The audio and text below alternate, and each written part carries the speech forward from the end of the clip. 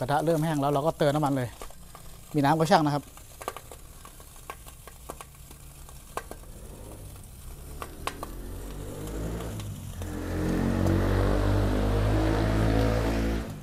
เติมน้ำมันลงไปทอดกุนเชียงก่อนนะครับ เพื่อน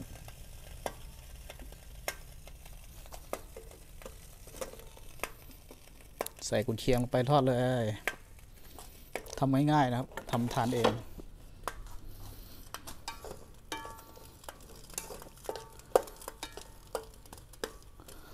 ตอนแรกว่าจะเอามะเขือเทศมาใส่ด้วย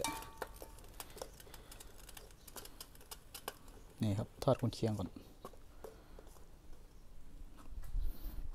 ไปเรื่อยๆ ง่าย ๆ นะครับทำขายก็ได้ทำกินก็ได้ครับ ส่วนมากจะทำกินเองนั่นแหละกุนเชียง ทอดไป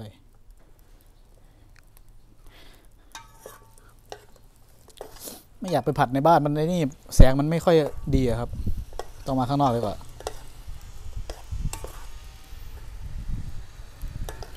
เดี๋ยวทุเท่าเชียง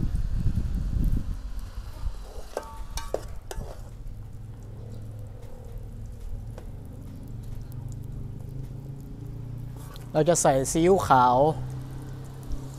น้ำตาล แล้วก็พริกไทยแค่นั้นนะครับ กระทะเริ่มเดือดแล้ว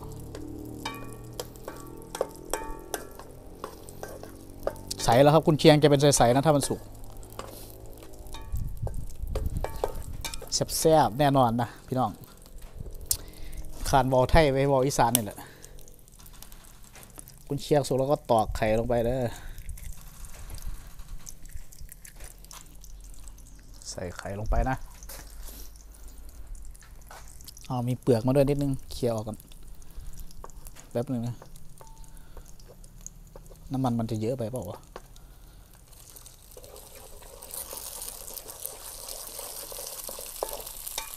นี่หอมแล้วครับ แล้วก็ยียีไข่ให้มันแตก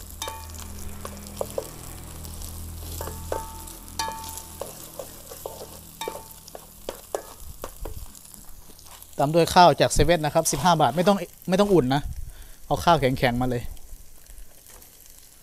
ใส่ลงไปครับยียียีอันนี้มันจะเป็นเม็ดเรียงสวยๆเลย เม็ดเรียงสวยเลยครับนี่ ยีให้ยีให้ข้าวมันแตกเม็ดนะครับ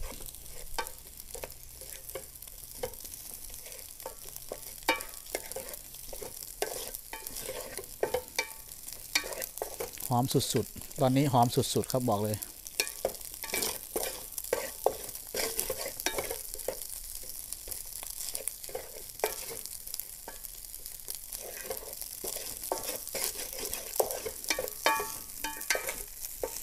โอ้ สุดยอด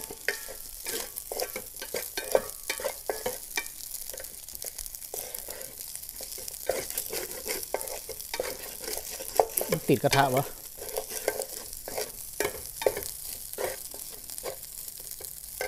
ปรุงรสครับ ซีอิ๊วขาว หอมแบบน้ำตาลช้อนหนึ่งครับ ช้อนชานะครับเพื่อนๆ แล้วก็แป้งหวานนะครับอาฮิโนโมโตะผัดเลยอืมสุดยอดมาก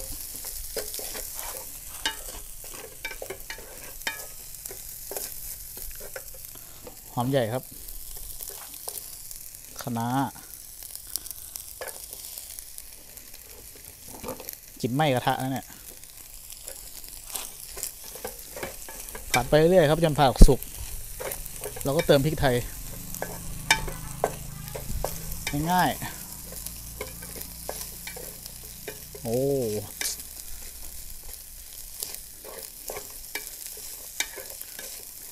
ยอด อร่อยมากมาย มหาศาลนะครับ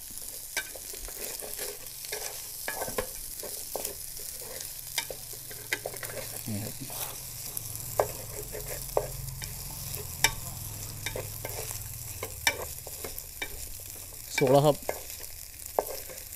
เดี๋ยวคนเข้าไปฝั่งนู้นก่อน กล้องมันอยู่ฝั่งนี้ กี่นาทีครับห้านาที โอเค เสร็จแล้วเราก็เติมพริกไทยป่นนะครับ นี่นี่นี่นี่นี่ใส่เยอะๆหอมที่สุด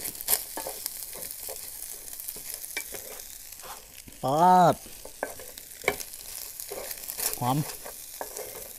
เราไปดูตอนทานกัน นี่ทำพริกน้ำปลาต่อนะครับ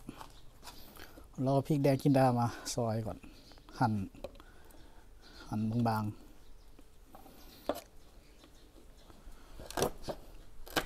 ๆ ง่ายๆนะ ใครก็ทำเป็นหรอกนั่ง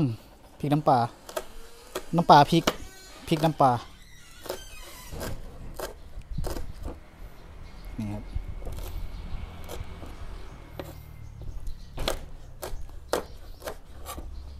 เอ้ย อันนี้ไม่ค่อยสดเท่าไหร่นี่หว่าพริก ซอยครับ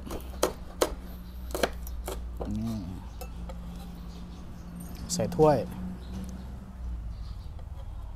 เอาพริกใส่ถ้วยนะครับ แล้วก็ เทน้ำปลาใส่ เทน้ำปลาประมาณสองช้อนโต๊ะนะครับ